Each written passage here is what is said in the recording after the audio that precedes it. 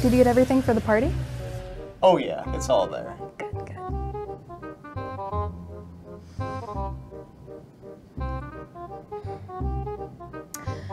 Oh, I'm getting kind of hungry. Could you pass me the chips? Oh shoot, I think I forgot them. What? I, I thought you said you got everything. Oh well, we'll just have to go to the store again.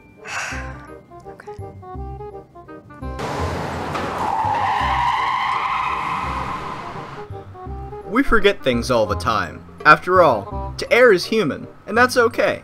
But in a health setting, forgetting things can have dangerous consequences. Every year, 94,000 people die from practitioner caused errors in US hospitals.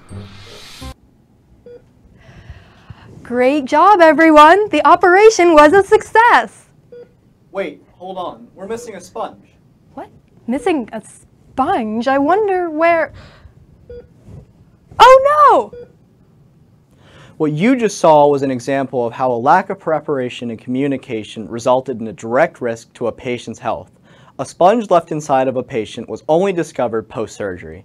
This accident could be prevented in so many ways using modern applications of health te- technology to keep track of supplies and better monitor patient vitals. Join us as we journey through time and space to discover the importance of interdisciplinary collaboration and the role of the health informaticist. Health informaticists analyze and synthesize information to develop meaningful knowledge applicable to a healthcare setting. They are the creators of software and systems designed to integrate large volumes of healthcare data to detect meaningful trends and inform future decisions in policy and cost management. Health informatics is an emerging field that demands a new generation of highly skilled workers. Boy, this run is exhausting. It Yeah. feels like we're running in place. Yeah, it really does. Just keep going. Hey Sarah, so the other day I was thinking about what we could do to promote patient safety in the workplace. Oh, cool. What could we do? Well, I had a lot of ideas. and? Well, they all add up to one good concept. Well, what is it? You've got to track the data. In order to track patient health data, we first have to gather the data. While this has always been done via hospital monitoring equipment and data telemetry, the health field is quickly moving towards patient mobility and the compactness of monitoring applications. Hence, wearable technology, with its greater viability, is beginning to have a large effect on the way care providers collect patient health information. Now, a few examples of wearable technology include heart monitors, wrist oximeters, and oxygen saturation meters. And eMed Online is a great new way to learn and track treatment adherence by monitoring how often patients access their medication. The program collects compliance data by utilizing voice commands and user input monitors to show how and when often patients access their information on medication. The data is then sent to a server for review, after which clinicians can provide relevant feedback and specific further education to optimize compliance. Now, take a look at this quick video to see one patient using eMed Online at home. This is a call from Grace at eMed Online for Barbara iPhone 5. Is this Barbara? Hi Barbara, it's time for your medicine. You are taking Renvela 800 milligrams. Are you ready? Has your doctor changed your dose?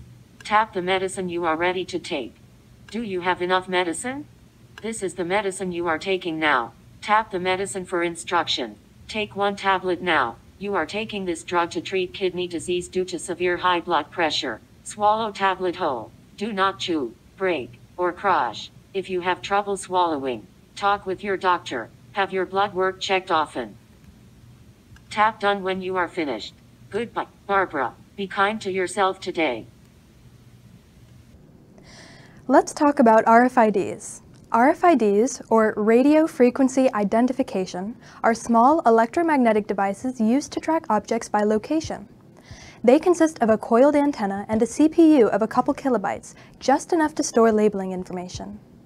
You may have seen RFIDs in stores as stickers on the inside covers of books, or as plastic tags pinned to clothing to prevent shoplifting. RFIDs function similar to barcodes, but have a few key differences. Barcodes are category specific, whereas RFIDs are specific to each individual item. Other differences include ease of use. Barcodes must be scanned directly with a laser, one at a time. RFIDs use radio wave detection, accurate to a distance of up to 20 feet, allowing hundreds of tags to be scanned per second. It's worth mentioning that while individual RFID chips are more expensive than traditional barcodes, their reprogrammability makes them more favorable and reliable than traditional methods. The cheapest RFIDs on the market today can cost as little as 7 cents each. In recent years, RFIDs have grown popular in healthcare thanks to their versatility and availability. The small size of current RFID chips allows them to be inserted in or attached to almost anything. RFID tagging is popular in hospitals to keep track of drugs and equipment. One blossoming use of RFID chips is to actually track patient movements. Patients are free to move throughout a hospital while care providers monitor their location via RFID scanners placed in the building. Perhaps most importantly, RFIDs could be used in surgeries to track each sponge used and ensure none were lost or accidentally left in the patient. As the cost of RFID technology begins to shrink, along with chip size, traditional tracking methods may be abandoned altogether. With RFIDs, healthcare providers can more quickly and efficiently establish what's available and where it's located. Here's another common scene, the formal dinner setting. Imagine sitting down at this table with the first course, a salad. You might think, which fork do I pick up? Wrong fork, Sarah. Now, most of us have no idea which utensils are which, and too many factors in a certain situation can end up confounding progress or leading to a negative health outcome. To be simple, complexity breeds confusion. A clear example of where complexity can lead to confusion is with the smart pump. Smart pumps are automated delivery systems designed to handle high-hazard drugs. They are effective at reducing adverse events during intravenous drug delivery. If anything unusual is detected, an alarm activates. Smart pumps can provide warnings for high dosages, potential drug interactions, and even patient allergies.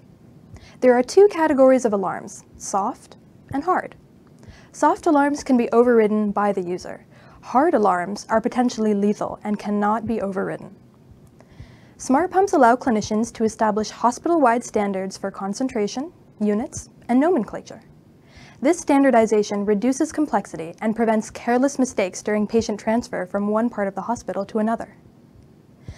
Here is a short excerpt from an excellent TED Talk by accomplished surgeon, writer, and public health researcher, Dr. Atul Gawande.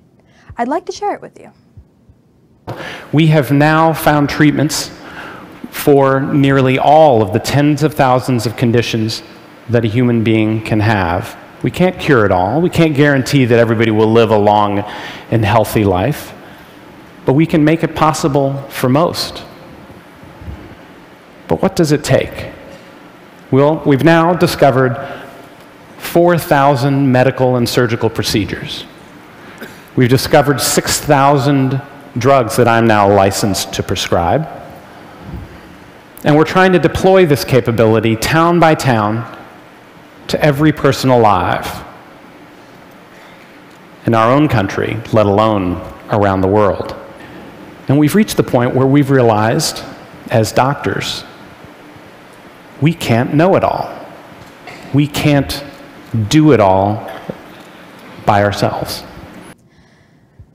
As Atul stated, one person can't do it all. That's why it's vital we create a culture of collaboration. One way to do this is to emphasize a blameless culture over a culture of accountability. This encourages caregivers to speak up when something goes wrong, so actions can be taken immediately to mitigate damages. With so many people coordinating to serve patients, it's easy to get lost. It's important to always remember that we as healthcare providers are part of a team. To get the best patient outcomes, we have to combine our ideas, talents, and creativity. After all, the whole is greater than the sum of its parts. And of course, you all saw this coming. These things knock at the big picture that is interdisciplinary collaboration, which focuses on how to create the conditions for health professionals to work together in the most effective and efficient way possible. Healthcare professionals have to share information regarding a patient's situation for effective dissemination of knowledge. They also have to communicate in order to act as a synergistic unit more valuable than the sum of parts. And y'all remember Dr. Cates' informatics term, synergy. Finally, this unit of healthcare professionals has to deliberate as to what the best course of action is for a positive health outcome. Technologies such as RFID and smart pumps make the process of delivering a positive health outcome easier by removing factors that could complicate a diagnosis. Well, that's all we've got you. Man, I still feel like we're not going anywhere. Well, at least we know all these great things about interdisciplinary collaboration and health informatics technologies. True. That's why we need all these business majors and biomedical students to come help us out, because that collaboration is so critical. Hmm. We need to hand this off. Yeah. Good job. Come on. Dr. Good Cates. job. Woo! Look at that man run.